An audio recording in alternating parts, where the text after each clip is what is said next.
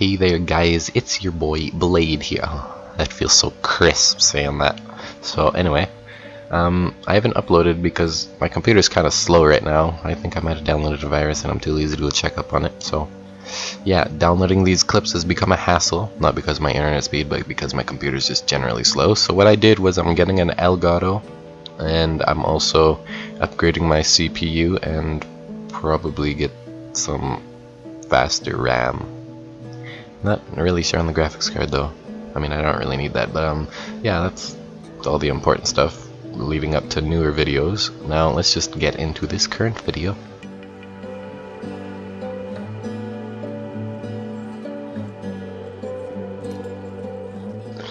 Okay, so are you tired of those pesky ashes and jackals and blackbeards and Glazes peeking through that window? Well, so am I.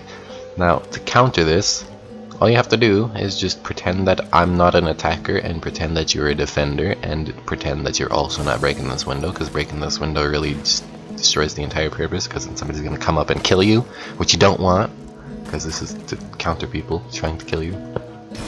Uh, so you just want to punch open that piece of floor or blow it up if you're kind of not patient. And as you can see, not down there, but up here above this wooden beam, you could see the enemy, or in my case, my teammate. And you could even shoot them, and usually people always kiss the freaking window like this person is.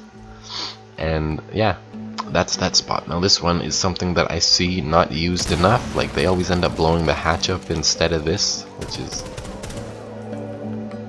pretty strange. I mean, like, if they have an impact, maybe they could just save it to blow open the hatch later. If they do need to go down instead. Because, I mean, if you die and you blow open the hatch, you just... A waste of space. Yeah, that's it. Okay, I said it. But, um, next spot. This one is blowing open a hole in the roof.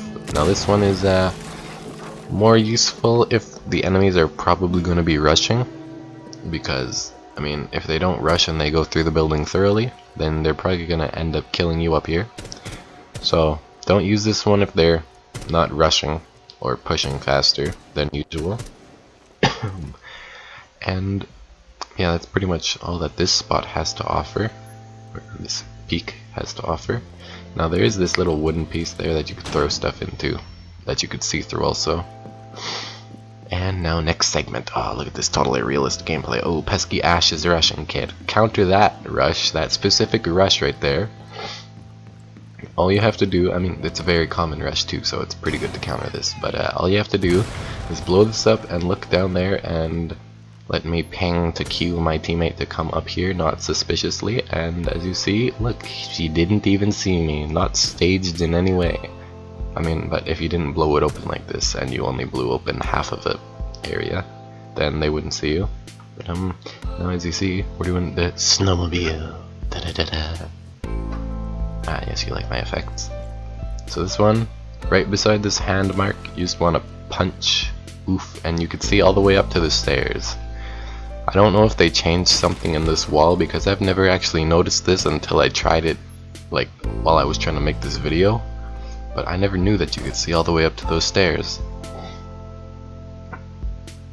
And yes, let's get on to the next oh, notification.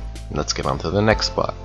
Now this one is more of just a basic one, just throw an impact at this wall if you want. You don't have to, but I, it's if you want to see, ooh, another notification. Yeah, it's just if you want to see. There's a lot of notifications. Okay, as you see, I shot out that piece of wall, throw an impact or shoot it out, shotgun, deagle, whatever you want. And you could uh, see all the way down to the garage over there. Yeah, that's what it is, I guess. But barricaded is what I barricaded. Yeah, just recommended. Now, da da da da. Special effects library. Oh, I'm great. Now you can see that window over there. All you have to do is break all these walls or punch a hole in them. And if you shoot open the window, then you can completely stop them from entering into one window. Now, uh, what you could do is watch that window. You could also watch the ladder over there. Now, here's another part. If you come into this corner right here, I mean, uh, you could sit right here and watch this window also. So you deny two entry, or two points of entry, and uh, three total actually. That is. yeah, and they won't die from the window behind. They may die but from below, but that's about it for that one. Now let's get onto the extra thick bar.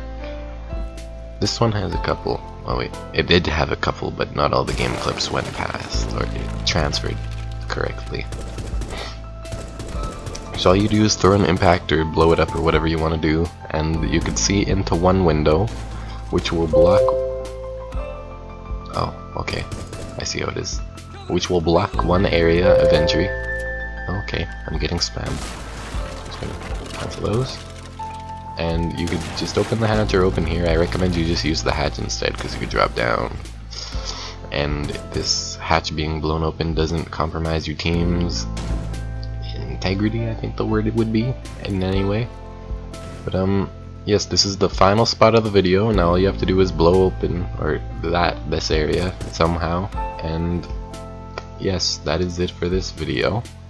I would kindly like it if you and dropped a like or a dislike based on what you thought of the spots. It, it's always nice to have a little input from the users because uh, these last few videos I've done, I've gotten input and I know what to do and what to not do.